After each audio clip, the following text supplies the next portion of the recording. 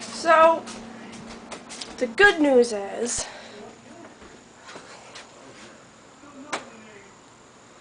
the good news is, I don't have to cook tonight. Yay! Because tonight, tonight we're having leftover jambalaya, which I had yesterday. But you already know that, because I already showed you. Come upstairs to get, sorry, I want a thing that goes around my waist that holds the camera up for me. So I can uh, have two free arms.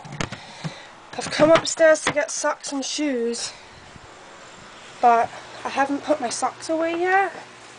I did laundry, but I left all my socks in the basket because uh, I got sidetracked.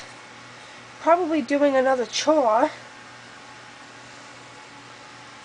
Yeah. So I gotta get my socks and sneakers because I have to exercise. Yay. I'd rather be putting beads together or coloring.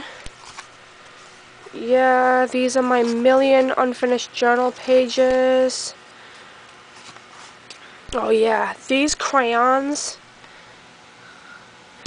Uh, sorry to get on a crayon kick, guys, but I have to tell you that these crayons, if you like to color, these crayons are the absolute bomb. Cause you can crayon in where you want your color and then you just take a plain old brush with water on it and it blends like watercolors. Uh, they're a bit expensive, but if you go to a uh, art website like Dick Blick, I like Dick Blick, I think uh, he's got some great stuff for good prices, um, and they ship well, and they're friendly, and I've never had a problem with them. Anyway, uh, if, if, if you like to colour like me, I recommend these. I happen to have gotten my tin. I'll show you the inside. If you're horny over crayons like I am.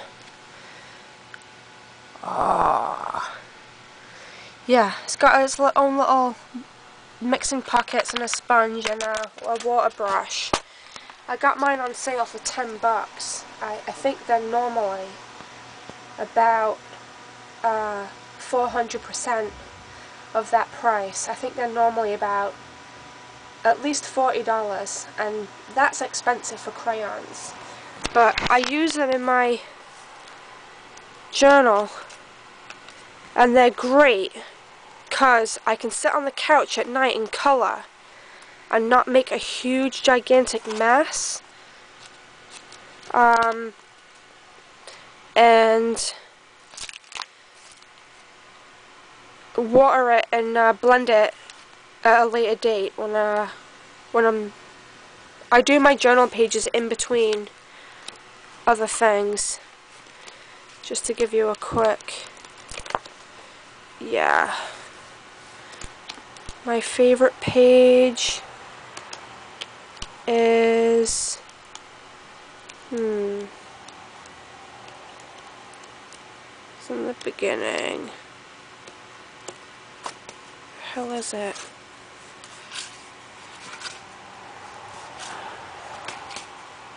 It's a green one. Ah!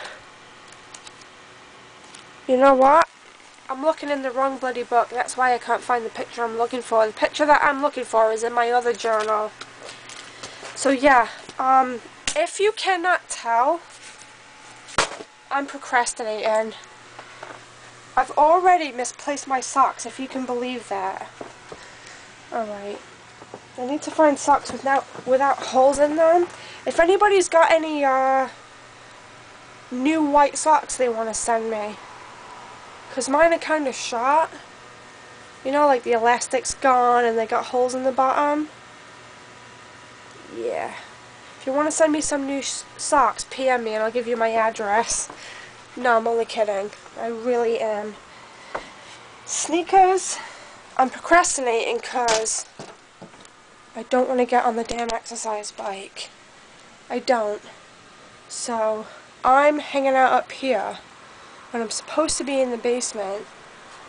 Um, waffling on to you about coloring. Yeah. Cause, well, I'm terrible with putting things off. I have to go downstairs now and wait for his show to finish because I cannot tolerate TJ Hooker while I'm exercising. It's got to be one of my shows, so I have to wait for his show to finish and then find a show for myself, something uh, something that will entertain me or uh, something sciencey.